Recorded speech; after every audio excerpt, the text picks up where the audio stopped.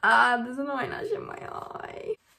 There's a car that's down. I love it when we make love. Go ahead, my make love. Hello everyone, welcome back to my YouTube channel. So for today's video, I'm going to be filming like a get unready with me. I'm basically going to be showing you what my skincare is for when I wear like a full face of makeup. Basically like after I've been filming because that's pretty much the only time I wear a full face of makeup.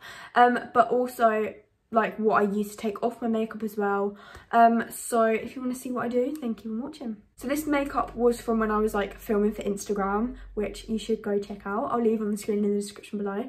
Um, and it's literally been on for like five hours and it's looking very, very oily. And also the sun on my face is like adding up to the glowy oiliness whatever you want to call it. I mean i don't know if it looks nice or not. Um but i like i like this lighting so i'm going to use it while it lasts because i think it's going to go down in a sec because it's like just above a house. So like it's literally like any second now it's just going to go. Um but i'm going to show you what i use to take off my makeup. I'm going to start by taking off my eyelashes. I just use a baby wipe to take off my mascara um, as mascara is like quite hard to get off with cotton pads, I find anyway. For this look, I've got glitter on my eyelid, so I'm also going to use like the baby wipe to take off the glitter. Because if I use like a cotton pad in micellar water to take off the glitter, it literally gets spread all over my face. And that's just like not a vibe, you know? Rather not have glitter all over my face. I mean, I don't know about you, but... I usually use the normal Garnier micellar water, but I've actually run out of that. So recently I've just been using the Garnier Rose one. I'm not really sure if there's any difference, to be honest, but I mean, it smells good.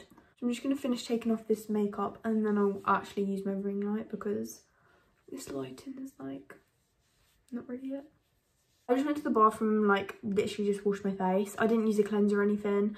Um, but now I'm going to get into my pyjamas so that we're a bit more comfier to show you my skincare and everything because I think I'm going to do a face mask tonight as well. I'm not really too sure. Um, I'm not sure how much eye makeup I got off though. Like around my eyes there is still some green but it's fine, it's all good. Whenever I take off my makeup, my skin always feels like really dry. So I'm going to do a moisturising face mask um, because I want to show you guys what skincare bits and what face mask I have been loving at the minute.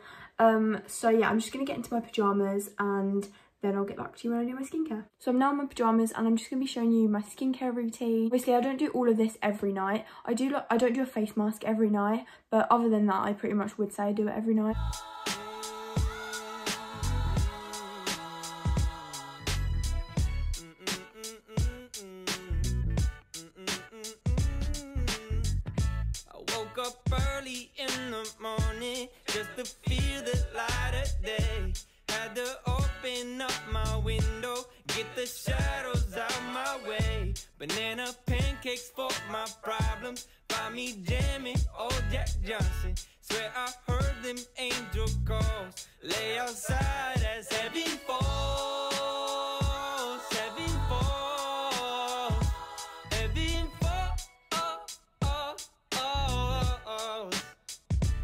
there before.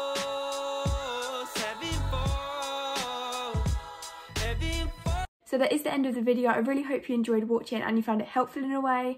Um, I definitely recommend every single product I've used in this video. It's definitely helped my skin stay as clear as it can, I guess, because obviously I do film for Instagram quite a lot, which I'll also leave on the screen in the description below. You can check that out, that would mean the world to me. Also, please make sure to like this video. Not sure whether you'll be able to comment as I think the comments are turned off. Um, but also make sure you subscribe down below and I'll see you in my next video. Bye!